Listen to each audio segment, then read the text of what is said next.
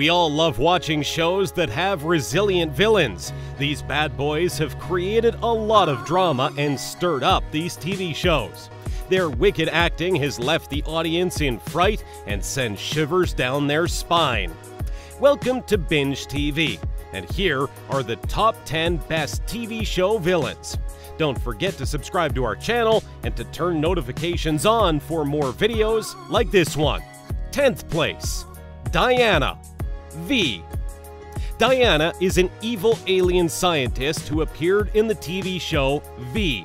She is a part of an invasion fleet and is clever, cunning, cruel, and seductive.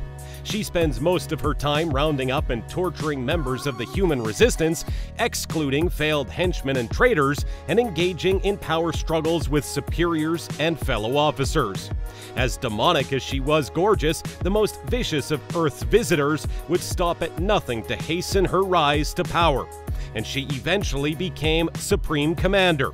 But the scene that will always stay with us is the one in which we caught our first glimpse of the secret lizard lady unhinging her jaw and swallowing a guinea pig whole.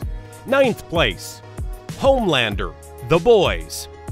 The Seven's twisted leader fights supervillains, and yet he's as far from the definition of hero as you can get.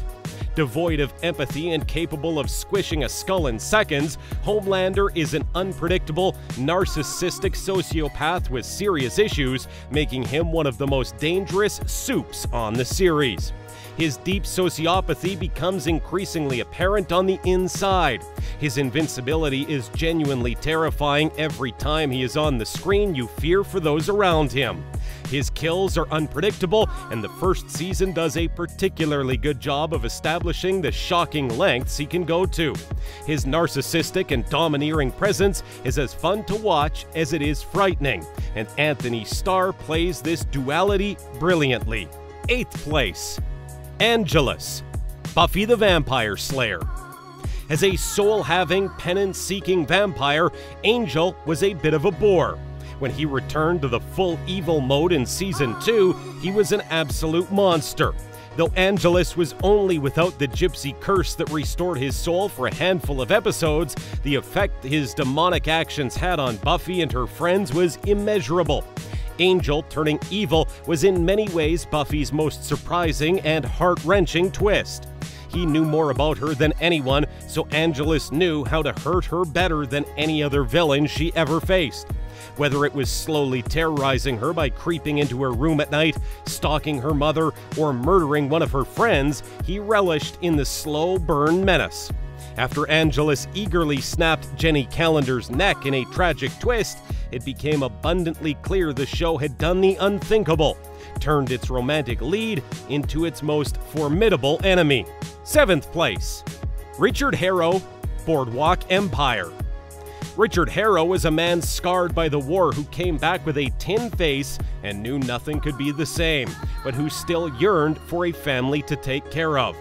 He was a man of contradictions, even though he killed when needed when paid, and occasionally for other reasons.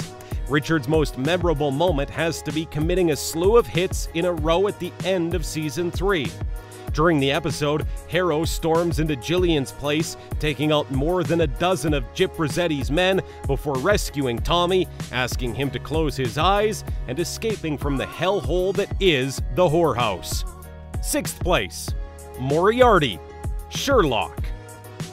Kitty has proved crucial for Sherlock's downfall in the Reichenbach Fall.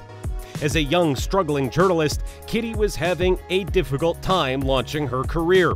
In a men's bathroom during the trial of Jim Moriarty, Kitty attempts to get Sherlock to open up, but he refuses, insulting her in the process. As revenge, she allies herself with Sherlock's nemesis, Moriarty himself. Moriarty feeds the unknowing Kitty lies, telling her that Sherlock is a fake and that he hired Moriarty to make himself look smart. While she's not necessarily a successful villain, we enjoyed watching her plot backfire.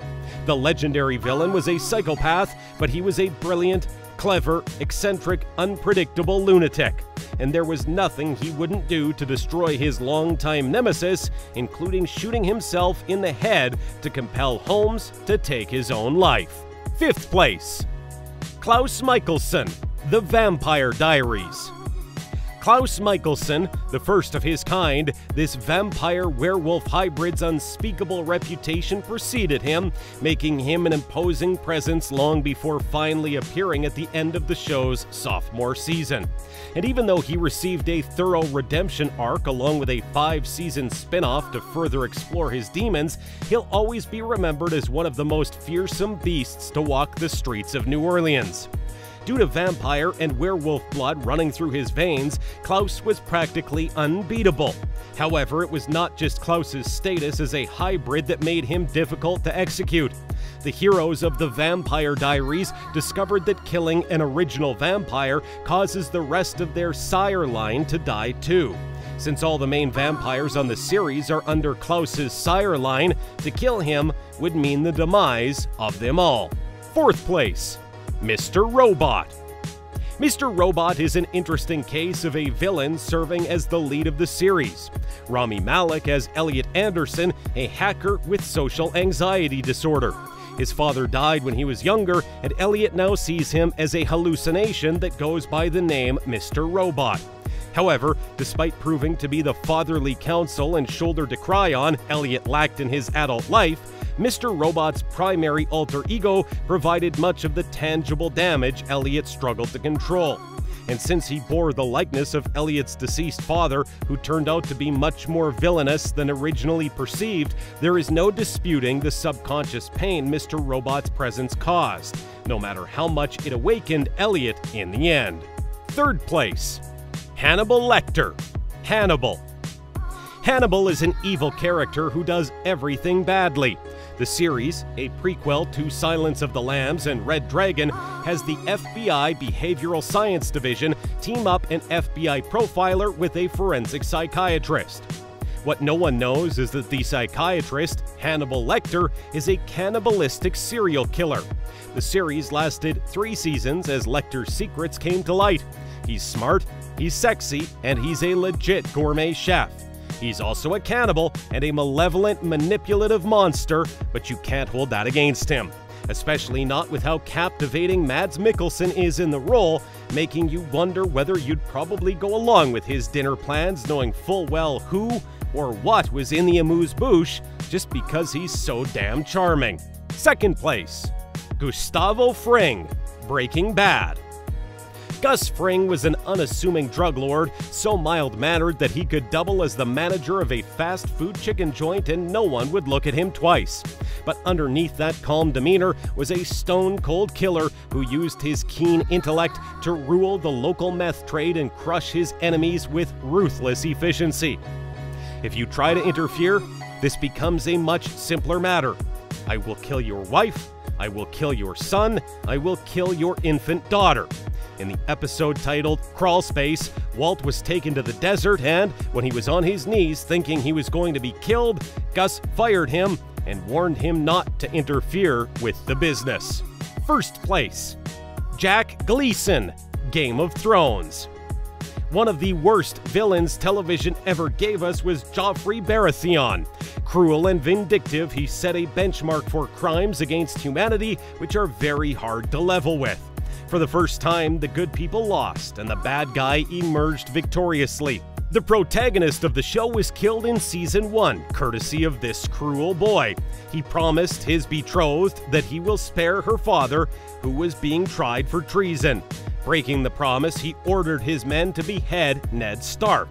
Didn't even have the nerve to do it himself. He had her pet murdered, killed her father, and declared her brother a traitor, but Joffrey was not done punishing Sansa. He goaded her, threatened to have her entire family murdered in front of her eyes, and then marry her. The girl was miserable, trapped in a castle with the man she hated more than anything else. But Joffrey just wouldn't set her free. He treated his people miserably and executed anyone he didn't like. Joffrey had all of his illegitimate children executed.